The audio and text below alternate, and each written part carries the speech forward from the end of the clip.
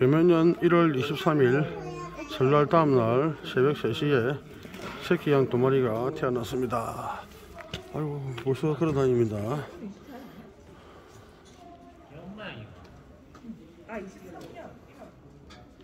그러니까 한 달도 안 됐네.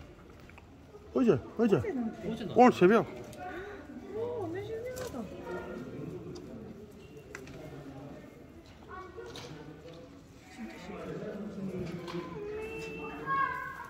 애들 엄마 좀 먹고 그러는데. 어, 찌찌 먹더라.